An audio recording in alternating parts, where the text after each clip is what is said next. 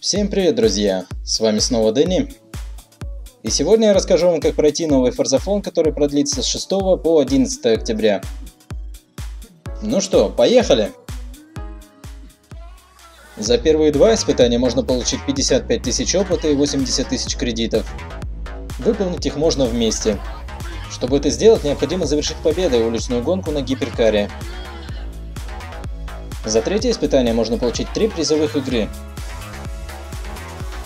Для этого необходимо продемонстрировать технику скорость 20 раз. Все как в прошлом видео. Последнее испытание это получить 3 звезды за полицейский радар на гиперкаре. Достаточно простое задание, как и все в этот раз.